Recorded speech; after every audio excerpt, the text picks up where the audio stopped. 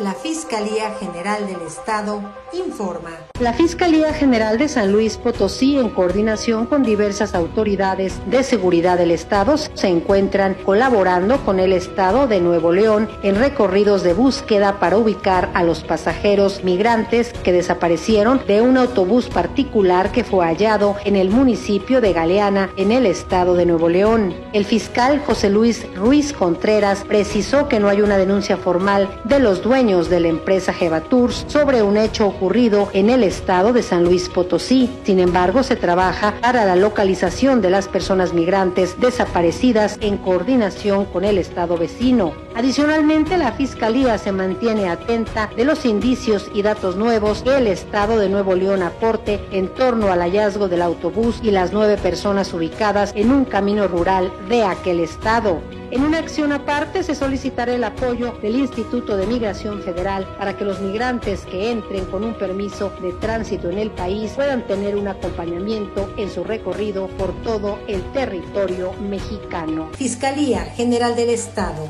una fiscalía más cercana a la gente.